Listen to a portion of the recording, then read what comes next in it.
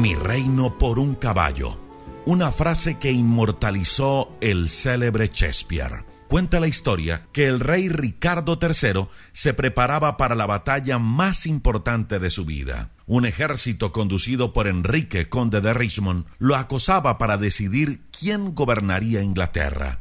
La mañana de la batalla, el rey Ricardo III envió a un criado a comprobar si su caballo favorito estaba preparado con las herraduras listas para cabalgar al frente de las tropas. Cuando el criado llega donde el herrero, el herrero le dice que debía esperar, pues tenía que conseguir más hierro. Pero el criado le insiste que los enemigos del rey estaban avanzando.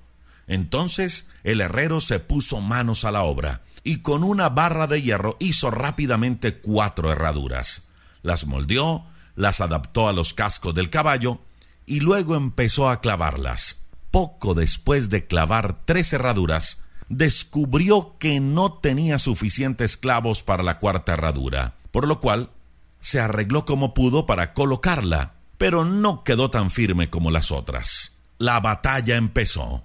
Ejército contra ejército se enfrentó. El rey Ricardo III estaba con su caballo en lo más duro del combate estaba alentando a sus hombres luchando contra las líneas de Enrique. Desde su puesto de lucha, el rey notó que algunos de sus hombres estaban retrocediendo. Se enfiló hacia la otra línea de batalla y ordenó a sus soldados que no abandonaran la guerra. Estaba cruzando el campo cuando su caballo perdió una herradura. Tropezó y rodó, y Ricardo cayó al suelo el caballo muy asustado, antes que el rey pudiera reponerse, echó a correr. El rey Ricardo III empezó a ver cómo sus soldados daban media vuelta y huían, y las tropas de Enrique empezaban a rodearlo. El rey Ricardo III se para con su espada y empieza a gritar Un caballo, por favor, un caballo, mi reino por un caballo. Pero no hubo ningún caballo para él. El ejército lo había abandonado. Sus tropas solo pensaron en salvarse. Poco después, los soldados de Enrique, sus enemigos, dieron cuenta de él y la batalla terminó. Por falta de un clavo, se perdió una herradura. Por falta de una herradura, se perdió un caballo. Por falta de un caballo, se perdió una batalla. Por falta de una batalla, se perdió un reino.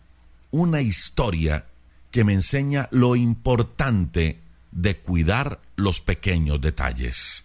Antes de emprender cualquier cosa en nuestra vida, llámese empresa, llámese familia, llámese matrimonio, o aún nuestros propios sueños, nuestro propio proyecto de vida, es importante prestarle atención a los pequeños detalles.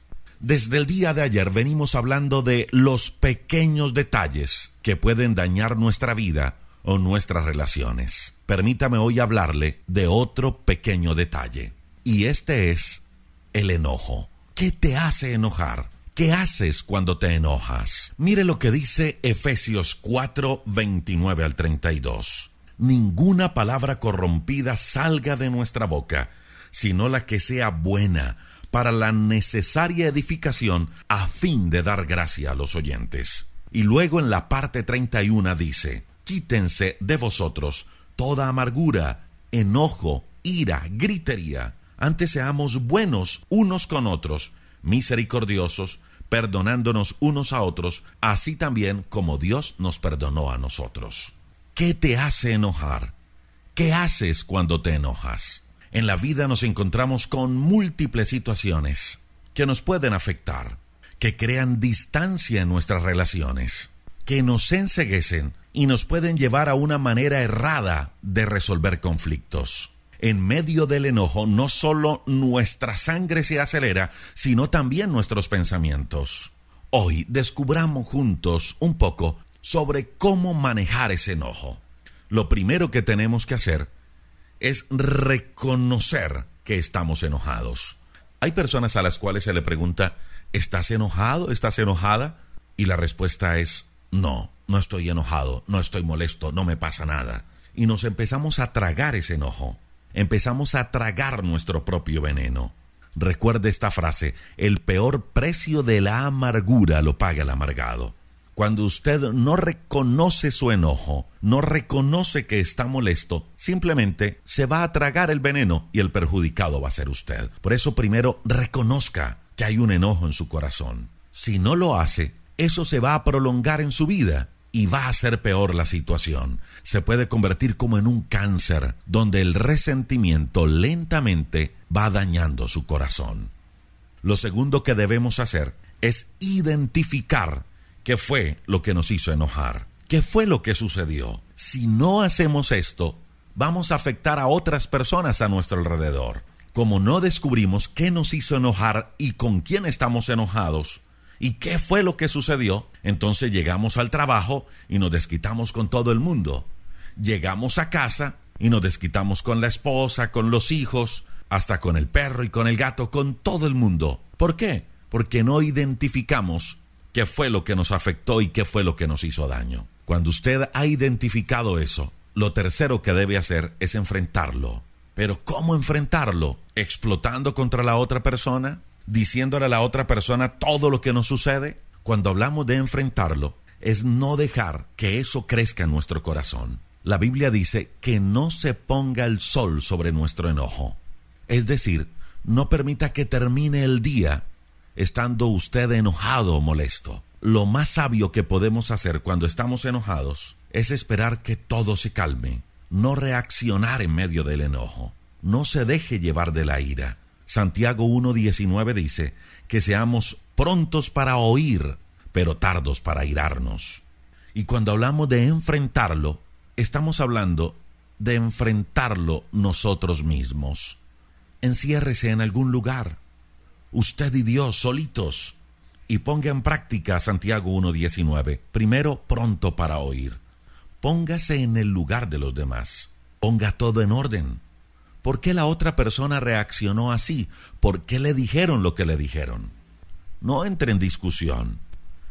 Pídale a Dios sabiduría, que usted pueda pensar claramente lo que va a decir, que usted pueda pensar claramente sobre la situación. Si usted explota con la otra persona, lo que va a crear es un caos y el problema va a ser aún mayor, va a crecer muchísimo. Si usted desea explotar, aproveche esa soledad con Dios y explote ante Él. Dígale a Dios todo lo que pasa en su corazón. Dígale a Dios que está enojado, qué es lo que le sucede. Todo lo que le pasa, cuénteselo a Dios. Dice la Biblia que Dios tiene cuidado de nosotros. Explote ante Dios, pero no explote ante los demás. Dígale a Dios todo lo que le sucede, todo lo que le pasa y desahóguese con Él. Y que usted pueda allí en ese lugar a solas con Dios, como dice Efesios 4:31, quitar de su vida toda amargura, todo enojo, toda ira, toda gritería. Cuando haya quitado eso de su corazón, ahora sí, busca arreglar las cosas. Pero como dice el verso siguiente, el verso 32, siendo buenos unos con otros, misericordiosos, perdonándonos unos a otros. Arregle las cosas, pero con un ambiente perdonador con un ambiente misericordioso, siendo bueno con los demás. Tenga cuidado de cómo reacciona en medio del enojo. Son pequeños detalles, así como nuestra historia de Ricardo III, que perdió un reino al perder una batalla. Perdió la batalla por perder un caballo. Perdió un caballo porque el caballo perdió una herradura. Y se perdió una herradura por la falta de un clavo. Pequeños detalles que hacen la gran diferencia. Le invito para que juntos oremos a Dios. Señor, te doy muchas gracias por tu amor. Te pido que me ayudes a deshacerme, a esa ira, ese enojo de mi vida. Ayúdame a buscarte, dame sabiduría para poder entender cada situación, que me pueda calmar cuando esté enojado. Dame la fuerza necesaria para controlarme que tu Espíritu Santo sea el que gobierne mi vida, mi cuerpo, mi mente, mis palabras. Quita todo rencor, toda ira, Señor. Lléname de tu paz, lléname de tu amor. que cuando tenga problemas con los demás, también tenga la capacidad de escuchar, de dialogar, de entender, de comprender y de perdonar, así como tú me has perdonado. Hoy te reconozco Dios como el Señor, como el Salvador y el dueño de mi vida. Te entrego mi vida y la vida de mi familia en tus manos. Invito para que hoy y todos los miércoles nos unamos en una oración a Dios en vivo desde Instagram. 8 de la noche, hora de Colombia. Déjanos tu petición y estaremos orando por ti y por tu necesidad. Recuerde todos los miércoles, 8 de la noche, hora de Colombia. Síguenos en Instagram. Nos encuentras como Rodrigo Riaño del Castillo o devocionales en línea con. Si este devocional ha sido de bendición para ti, le invito para que lo compartas con tus amigos. Estoy seguro que bendeciremos nuestra vida y la vida de muchas personas. Este devocional también lo encuentras desde muy temprano en el canal de YouTube y en Facebook. Un feliz día para todos. Que Dios bendiga tu vida y la de tu familia. Y recuerda que estamos orando por ti.